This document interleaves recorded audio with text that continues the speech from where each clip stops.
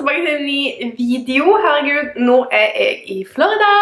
Jeg har akkurat stått opp klokka er sånn seks på morgenen. Jeg har skikkelig jetlag. Jeg er liksom lys vågen, men allikevel drittrøtt. Asle ligger igjen og sover. Dødsheldig. Um, jeg sitter her og akkurat stått opp. Tenkte jeg kanskje skulle begynne å pakke litt ut av koffertene og sånne ting. I går var en så sinnssykt lang dag. Det var helt vilt. Jeg er veldig spent på hvordan dagen i dag blir. Um, vi skal i hvert fall gå og handle inn litt mat og litt sånne ting. Jeg skal vise dere leiligheten vi bor i. Så fint og koselig her. Jeg er så glad for at alt har gått som det skal. Vi var veldig stresset sånn i går for at liksom Altså, det er jo naturlig når man skal til USA liksom første gang alene.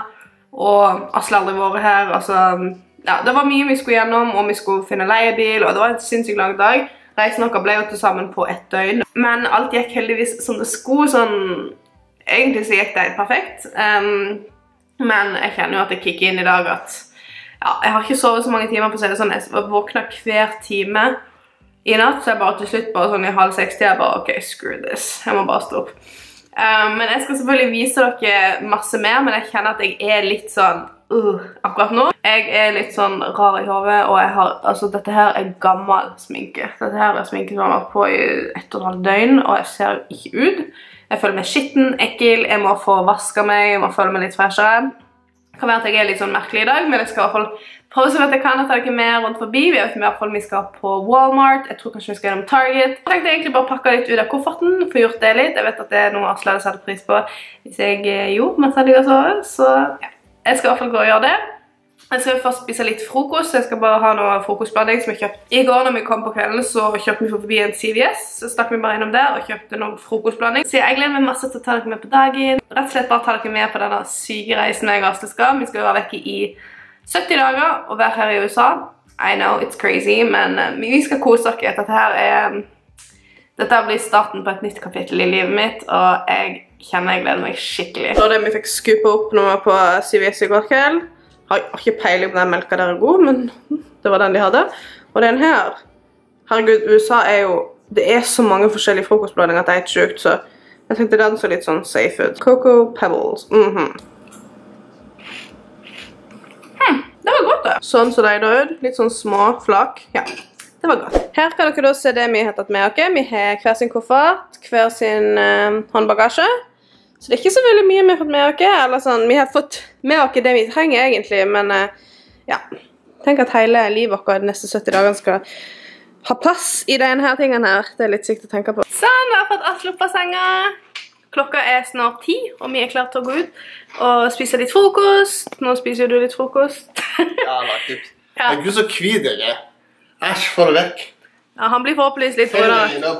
Jeg er jo egentlig så good, men jeg har tatt på litt selvbruning for ikke å se altfor gal ut. Nå skal vi i hvert fall gå og kikke litt på Walmart, Target og gå på litt sånn gøy butikker, og så kjøpe inn litt mat og så må kjøpe litt småting, så jeg tror jeg at vi kommer oss ut. Nå skal vi på Target, og dere aner ikke hvor lenge jeg gleder meg til dette. Dette her er favorittingen i hele verden. Altså, komme til sånne nye land, så elsker jeg bare å gå på sånn supermarkeds og Sånn butikker. Det er så varmt. Det er sykt varmt. Altså I forhold til Norge så mye varmt. Jeg hadde ikke trodd at det var så varmt, faktisk. Vi hadde vel ti minus når vi reiste her. Ja, det var faktisk sykt kaldt, så det er veldig stor forandring. Jeg tror vi er oppe i 30 plussgrader. Så her skal vi inn. Er du gira første gang på Target? Ja. Gleder du deg? Ja. Så nå er vi rundt på Target. Har allerede funnet en del mat og litt sånn gøye ting vi har lyst til å teste ut. Rundt i avdelingene og bare kikke på alt det gøye de har. OK, um, fem dollar. Altså, det er masse godt. Vi har kjøpt noen bagel. Åh, Det er så masse gøy her. Jeg gleder meg til å vise dere etterpå. Sånn her gikk den første turen på Target. Uh, ja, det er sånn. Sånn, sånn er det av og til. Sånn skjer. Ok, så nå har vi kommet hjem og har kjøpt masse greier. Jeg tenkte å vise dere hva vi har kjøpt. Vi har først kjøpt denne her, Philadelphia Cheese and oh, onion. Chives. Oh, ja, det er feil. Eh, det er til å ha på bagel. Vi har kjøpt ost. Vi er veldig spent på den. Swiss. Swiss cheese. Swiss cheese. Hey, altså, hør her. Jeg, jeg, er veldig sånn I like my uh, Norvegia. Ja, jeg gjør det. Så måtte vi selvfølgelig teste Fiji water. Det har jeg jo hørt at det skal være veldig bra. Men her har vi, Dette er mest nok til Asle, vil jeg tro. Chunky salsa. Jeg spiser ikke så mye salsa. Og så kjøpte vi denne her.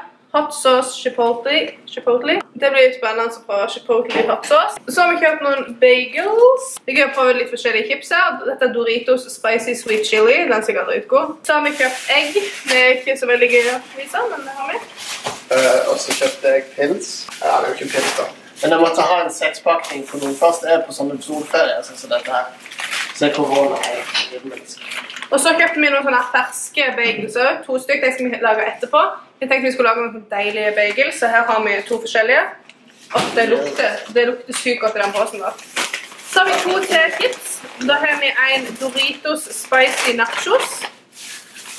Og så har jeg hørt så mange som snakker om dette her, og dette her er da eh, Cheetos, altså hot Cheetos.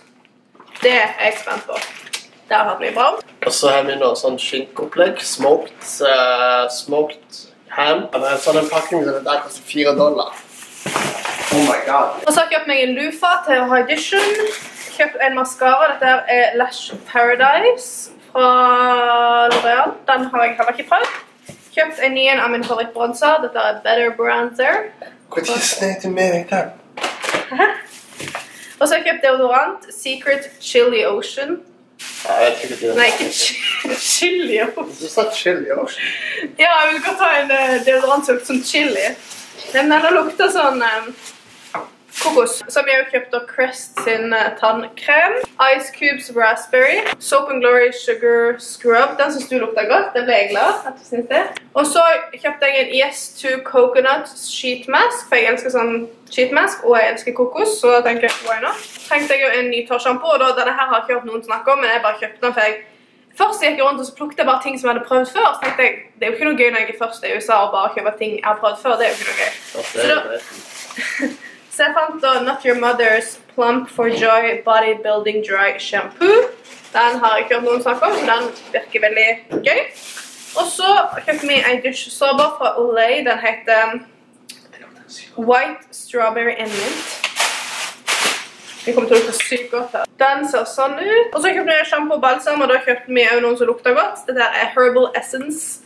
Uh, color me happy. Så nå har vi en del ting. Altså jeg har kjøpt en tannbørste, det klarte jo jeg selvfølgelig å glemme. Herregud, nå har vi mye gøy. Vi skal teste mye av dette her i dag. Men litt, det har noe mer. Å ja, jeg kjøpte en rens. Avino Clear Complexion Foaming Cleanser. Den er sikkert grei. Nå skal vi teste Cheetos, hot Cheetos. De er veldig gode. Og veldig hot. Jeg tror ikke vi har noen så hotte chips i Norge. Oi. De var dritgode, da. Å gå rundt på sånn drugstore og sånne ting i USA og kjøpe sånn ting på drugstore, sånn produkter, sånn er sånn noe av det gøyeste vet, i hele mitt liv. Altså, det er så gøy. Jeg finner så mye gøy. Og i morgen, eller ikke i morgen, men i overmorgen skal vi på Sephora, og jeg gleder meg så. Da kommer det så mange gøye ting. Men her er i hvert fall noe jeg har kjøpt til nå som er sånn nødvendige ting, så mm, gøy. Hallo, folkens! Som dere ser, så har jeg stelt meg litt, for å få meg litt eh, utstyr, og det skjønner dere sikkert hvor jeg skal. Jeg skal nemlig til eh, Magic Kingdom i dag. Det er en av Disney-parkene. Meg og Asle skal der. Han står der og steker bacon og egg. Mhm. Så nå har jeg akkurat lagt meg litt eh, bagel med kremost. Det er sånn go to for meg. Jeg synes det er veldig godt. Det ble ikke så mye filming i går etter vi hadde vært på Target. Vi møtte opp med Lisa, som er søsteren min, og vi var ute og spiste og litt sånn forskjellig. så det var veldig koselig, men eh, jeg, som sagt, jeg er ikke helt inne i vloggegreia helt ennå, så jeg prøver så godt jeg kan. Jeg skal i hvert fall ta dere med på dagen i dag, så dere får se litt av Disney-parkene og hva vi skal gjøre og sånne ting. Det blir veldig gøy. Altså sånn som for eksempel i går så la vi oss klokka åtte. Mm, vi var drittrøtte, så, også sto vi opp tre-tida, fire-tida, fem-tida, seks-tida i dag, så ja. Det, det er fortsatt litt sånn eh, jetlag, så Vi trenger nok en dag til. vi trenger litt tid for å komme inn i det. Eh, men eh, nå skal vi i hvert fall bare spise, og så kommer Lisa og henter dere, og så skal vi til Disney. Ok, så nå begynner vi å bli klare til å gå. Jeg har fått på meg litt røde lepper. Vi skal i Disney, da må jeg det. Jeg tror jeg så litt crazy ut med de solbrillene til, men de passer på en måte litt òg. Jeg følte at det så litt too much ut med de andre solbrillene, så jeg bytter heller bare over til den her. Ja. Nå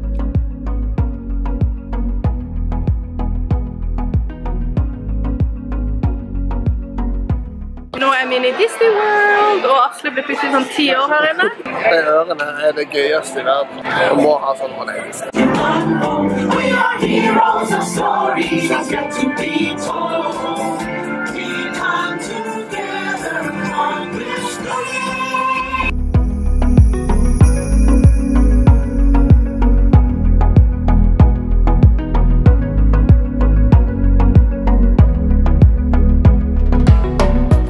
På sånn der eh, first time, eller first visit. Så da vet alle at det er første gang her. Men vi har akkurat hatt spist. Yep, Spist pizza og litt pommes frites. Jeg kjenner jeg må touche opp den leppestiften her, for serien begynner gå. Ja. Men det er veldig deilig å være her. Veldig koselig. Ja. har det gøy. Vi ble klissbløte. Vi, vi var på Splash Mountain i stad, sånn lang, stor, stor tømmerrenn. Du. Så var vi klissbløte, men når vi tørre Og jeg bare, ja, det. Da ble jeg hår- da ble jeg håret. Ja, håret ble ødelagt. Forfacen ble rent av. Nei. Til og med min ble Nei, så, så nå er det bare rett opp til Thunder Mountain, så det er jo en berg-og-dal-bane, så det blir veldig gøy.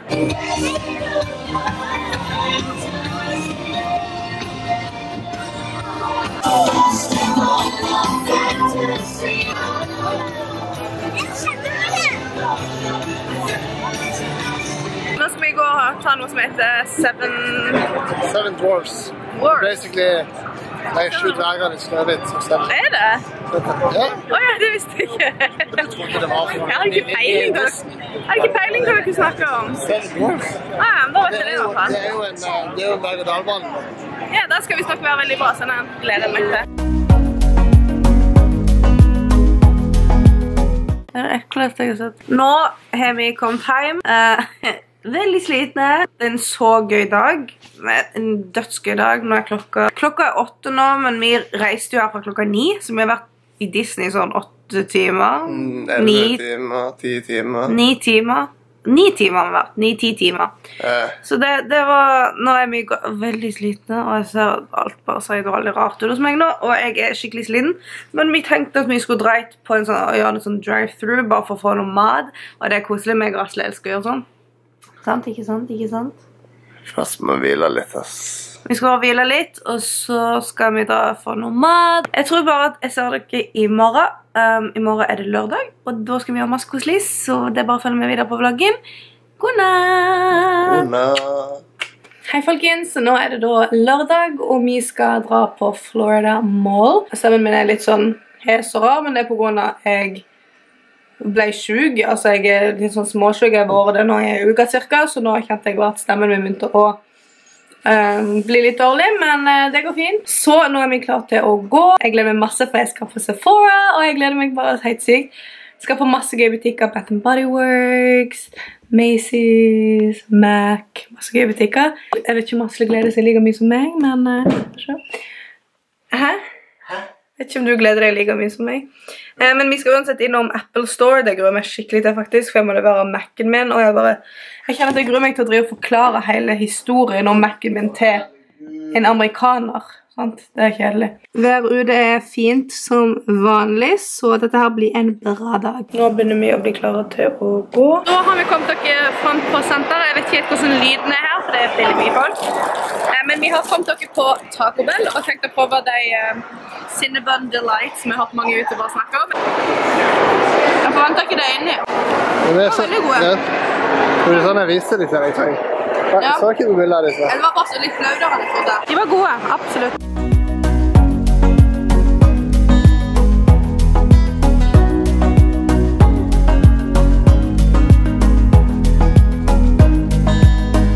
Da har vi gått rundt en god stund. Egentlig ikke fått kjøpt så veldig mye. Jeg var jo i stad på, som sagt, på det Florida Mall. Og så, jeg kjøpte litt på Sephora. Så hvis dere vil ha en Sephora haul, så let me know.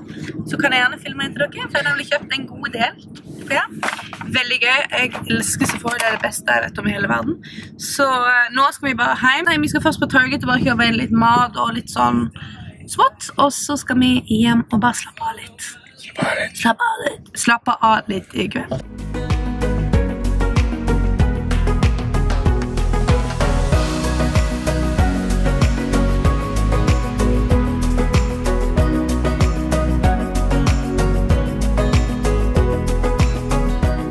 Nå er klokka seks-sju eller noe sånt. Og vi tenkte å bare slappe av litt. I morgen som sagt, skal vi jo til enda Disney, eller to Disney-parker. Da skal vi først til Epcot, og så skal vi til Animal Kingdom. Den kommer jo selvfølgelig med i denne vloggen her. God morgen! Nå driver meg og Asle på å lage frokost. Vi skal lage noe sykt godt nå i dag. Jeg har tenkt på det hele natt. Vi skal ha bagel og egg og bacon og Nei, det er så deilig. Så nå driver Asle og steker bacon. Aha. Jeg gjør klar bagels, og dette blir en sykt deilig frokost. Så her har dere da frokosten, bagel med egg og bacon. Åh, digg! Sånn, da begynner vi å bli klare til å gå, men jeg vil bare gjøre dere en liten anbefaling. Er skoen her. Den her er fra Junker. Jeg har fått sponset, men herregud, det er de mest komfortable skoene jeg har brukt. Jeg brukte de hele dagen vi var i Magic Kingdom. Det var jo mm, ca. ti timer. Jeg hadde ikke vondt i beina i det hele tatt. Jeg kan linke de i infoboksen, for det her er seriøst de beste skoene jeg har hatt.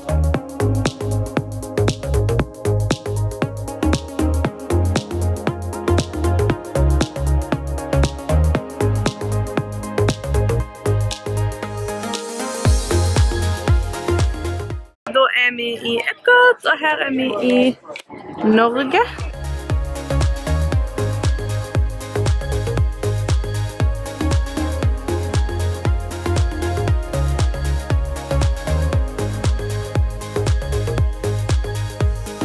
Så nå har vi gått runden rundt eh, hele Epcot. Sett alle de forskjellige landene.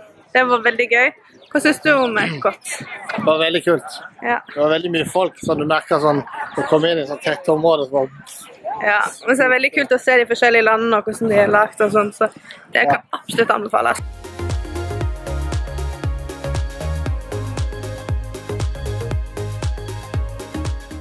Sånn, da er vi hjemme etter en veldig lang dag. Både Epcot og Animal Kingdom i dag. Håper dere har likt å se på dagen deres. Vi har kost dere masse. Nå er vi skikkelig trøtte. Klokka er ikke mer enn halv ti-ti, men begge to er skikkelig trøtte. Så vi tar faktisk bare og legger oss nå. Men jeg ser dere i morgen. Og da skal vi vise dere leiligheter, så da blir det en liten leilighetstour. Vi skal ta det ganske rolig i morgen, så jeg tror, jeg tror dere får bli med på en god del av dagen i morgen. Det er jo sånn når du på en måte holder på med mest mulig ting, når du har veldig mye å gjøre en dag, så glemmer man kanskje litt å vlogge, men uh, i morgen tror jeg vi skal klare det ganske fint, så ser dere i morgen. God morgen, folkens! Jeg har akkurat hatt en dusj. Huden min er enda litt sånn ruglete, skikkelig merkelig. Jeg blir litt sånn når jeg kommer til andre land og sånn, at huden må bli sånn kornete. Jeg skjønner ikke hvorfor. Nå har jeg i hvert fall kommet ut av dusjen. Jeg skal ta på meg litt selvbruning. Tenkte å ta på meg litt ansiktsmasker. Og da kjøpte jeg denne her for noen dager siden, som jeg viser dere.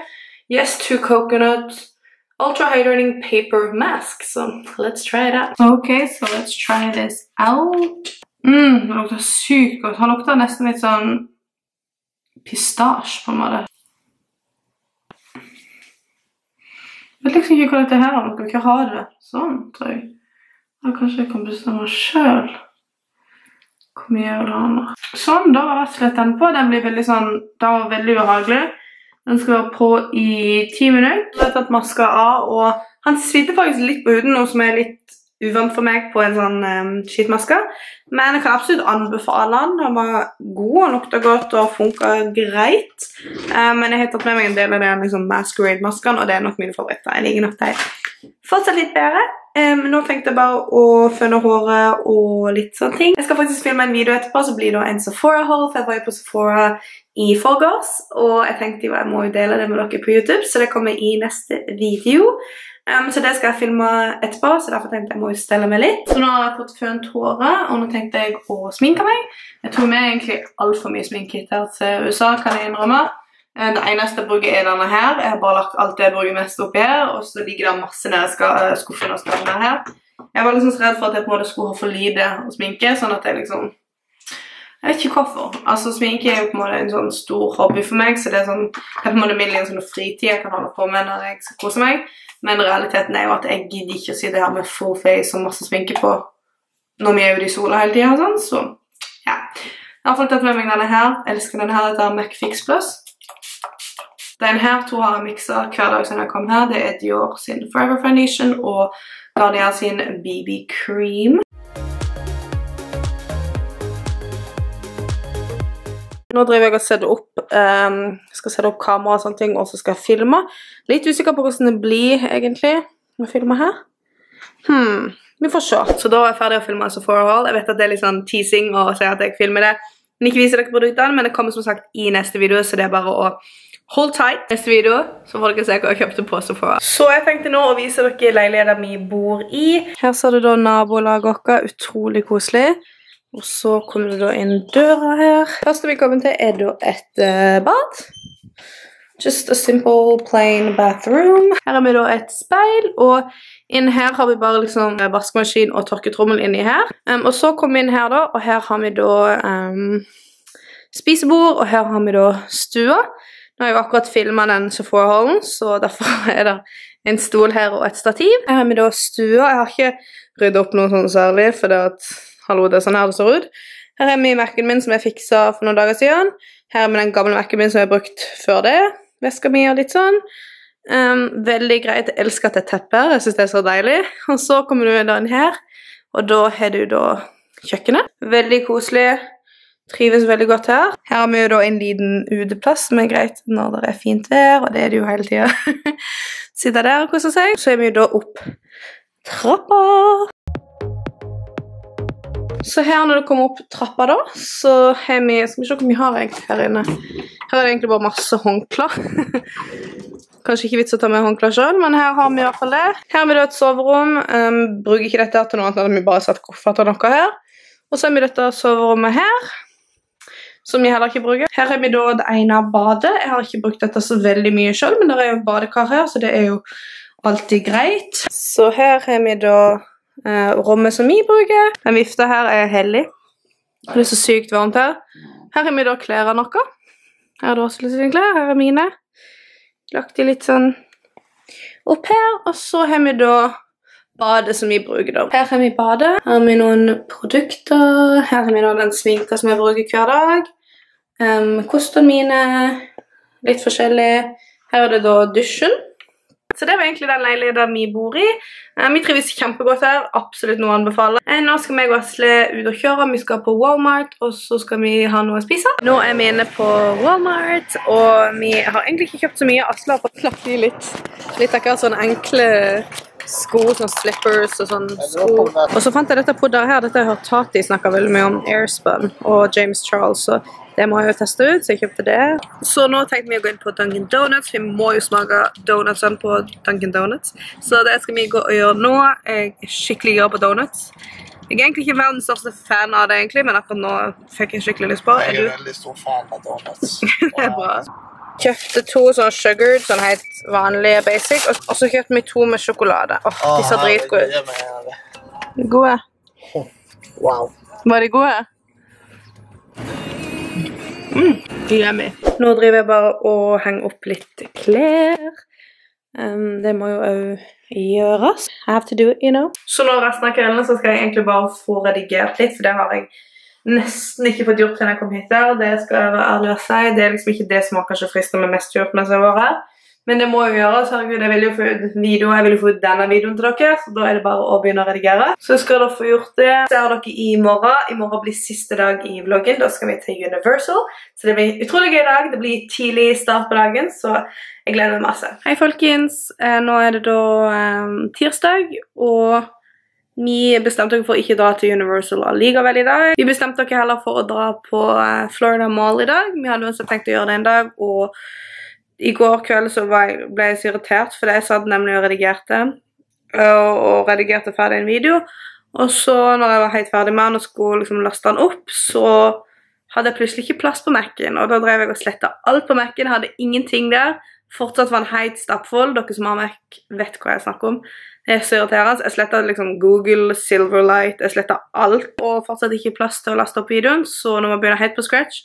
Redigerer hele videoen på nytt, noe som er veldig kjedelig, i og med at jeg er her på liksom, ferie og vil gjøre andre ting og har brukt på en måte kveldene mine på å redigere, men nå har liksom det gått i dass. Jeg må gjøre det på nytt. Jeg ble egentlig bare så irritert. Jeg bare var sur, så var vi oppe litt lenge i går, og nei, altså jeg trengte bare litt søvn, for å si sånn. Ja, det er ikke alle dager som blir akkurat sånn som man forestiller seg, kan man si. Så eh, sånn skjer av og til, spesielt når man gjør en ukesvlogg, så er det jo på en måte naturlig at ikke alt hele tida på en måte går helt smooth. Så sånn skjer. Um, så i dag tar vi bare en mer rolig dag på Florida Marm og kjøpt litt um, greier og ennå ikke fått kjøpt um, shorts og bikini som jeg skulle gjøre. Så ja, nå tenkte jeg egentlig bare, mens den oppdaterer seg, så tenkte jeg bare å gå og stelle meg bitte litt. Huden min har fortsatt ikke blitt helt fin.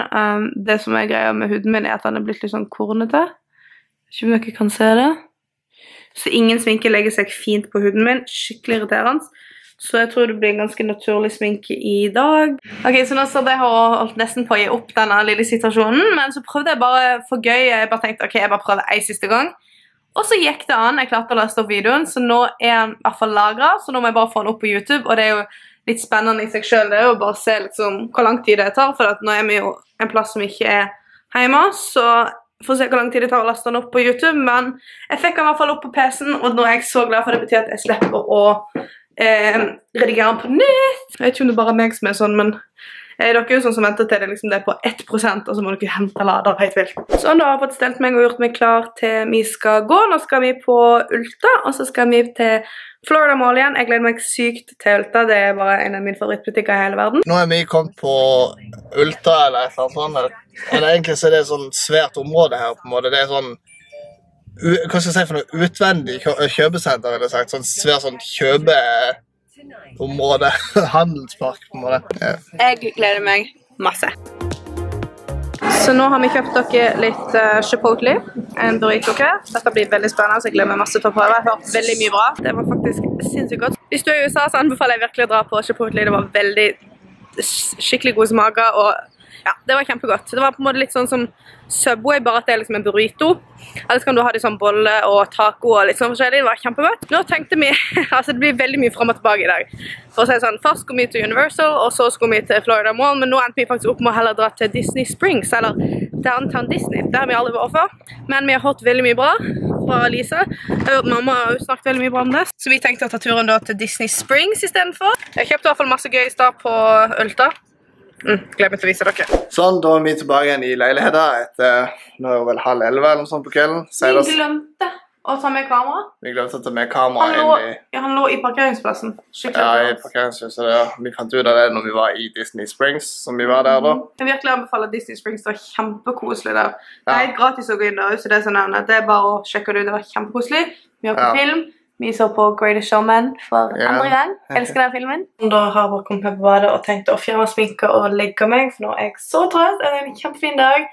Alle dagene her er helt fantastiske. Vi koser oss så, så mye. Men jeg tror vi tar og avslutter vloggen her. Dette er nok blitt en ganske lang vlogg uansett, så jeg håper virkelig at dere har likt vloggen. Vi har det så fint og koser oss så mye. Hvis du har likt vloggen og vil at jeg skal fortsette med sånn ukesvlogger, så er videoen en tommel opp. Det hjelper meg veldig mye, så kan jeg se om dette er noe jeg skal fortsette med. Det er utrolig gøy. Um, så hvis dere har lyst til at jeg skal fortsette med det, så gir videoen en tommel opp. Skriv igjen en kommentar i kommentarfeltet hva du vil se framover på kanalen. Og så håper jeg at jeg ser dere i neste video. Ha det bra!